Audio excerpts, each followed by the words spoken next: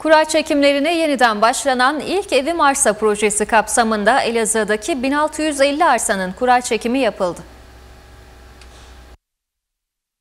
Cumhurbaşkanı Recep Tayyip Erdoğan'ın 13 Eylül'de açıkladığı ve ilk kuralları 7 Kasım 2022 tarihinde Ardahan ve Şırnak illeriyle başlayan ilk evim, ilk iş yerim ve ilk evim arsa projesinde noter huzurunda gerçekleştirilen kura çekimlerinin ilk etabı 75 ilde tamamlanmıştı.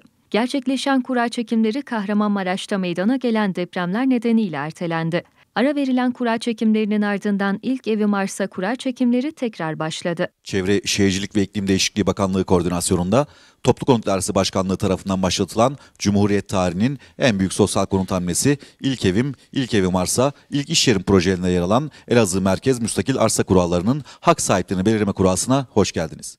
İlk evim arsa projeleri kapsamında Elazığ'da 1650 arsanın kura çekimi yapıldı. Bugün Elazığ merkezde müstakil kuramızda toplamda 1500 müstakil arsamız bulunmakta. 4182 başvurumuz bulunuyor. 1500 hak sahibi belirledikten sonra kalan başvurular arasından 150 yedek belirleyeceğiz. Çekilişlerimiz Ankara 15. Noter denetiminde yapılmakta olup çekiliş sonuçları E-Devlet üzerinden sorgulanabilecektir. Tih Mehmet Budak,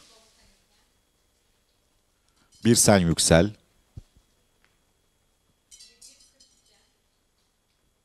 Refik Sefergil, Semih Çelik,